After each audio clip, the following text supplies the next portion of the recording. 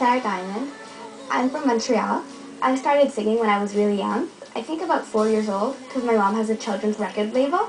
So I've been singing on her albums. But I started taking lessons when I was about five and a half, six. And then once I took singing lessons, I couldn't stop because I just loved it so much.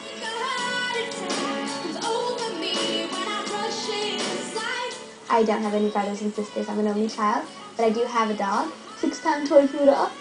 Her name's Tango. She's like a sister to me because I've had her for so long, and when I'm sad or when I'm sick, she always comes to me and she cuddles with me.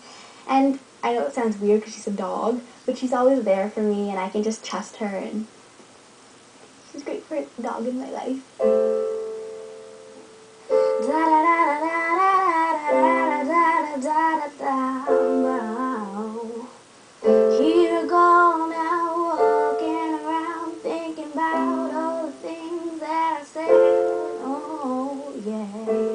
I also write songs. I started writing when I was about eight years old with my singing teacher. My favorite song that I've ever written is probably Me and My Girls because it really came from the heart because it's about my friends and how they're always there for me.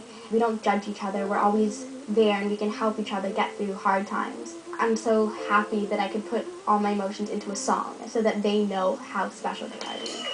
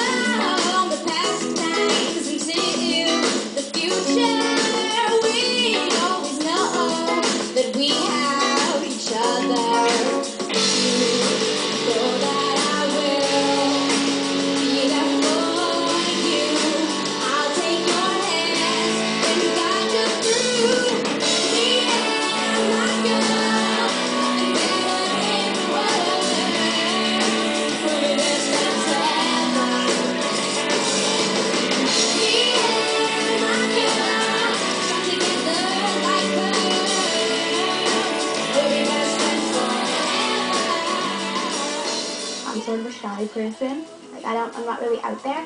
But when I'm on stage, it's like I'm a whole new person. I mean, I get on and I can really like express myself, and I'm not shy, and I'm out there, and there's just like I can share my emotions on stage, and it's like my goal to be able to let other people feel how I'm feeling.